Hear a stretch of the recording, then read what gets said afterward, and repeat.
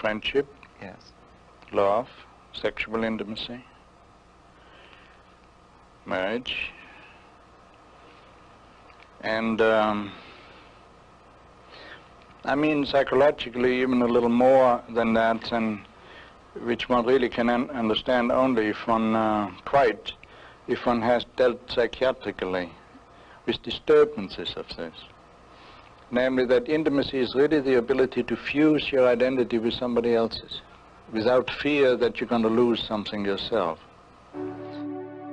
Di setiap kesempatan, Erikson selalu menekankan pembentukan identitas.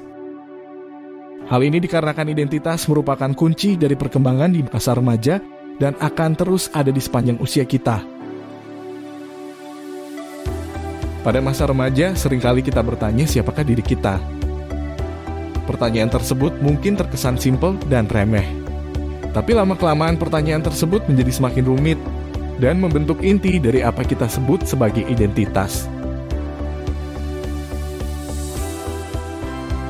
Menurut Erikson, remaja akan menempuh tahapan yang disebut sebagai tahap identity versus identity confusion. Pada tahap ini, remaja mulai terpapar oleh banyaknya pilihan dalam hidup dan mulai memutuskan siapa dirinya. Ingin menjadi orang seperti apa, dan bagaimana mereka akan menjalani hidup. Banyaknya pilihan dan adanya kebutuhan untuk mengambil keputusan terkait dirinya, membuat remaja mulai bereksperimen dengan berbagai peran dan kepribadian. Mungkin teman-teman pernah merasakan waktu SMA atau SMP, sering menggunakan baju yang rapi di satu hari, dan di hari selanjutnya menggunakan baju yang serampangan, atau mungkin menyukai K-pop di satu bulan, kemudian beralih ke jazz di bulan selanjutnya.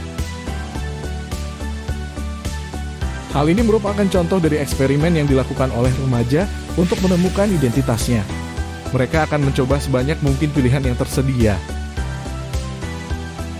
Proses eksperimen ini juga merupakan usaha yang dilakukan oleh remaja untuk menyesuaikan diri agar diterima oleh lingkungan sosial. Remaja yang dapat menghadapi krisis ini dengan baik akan menjadi individu yang memiliki sense of self yang dapat diterima dengan baik secara sosial.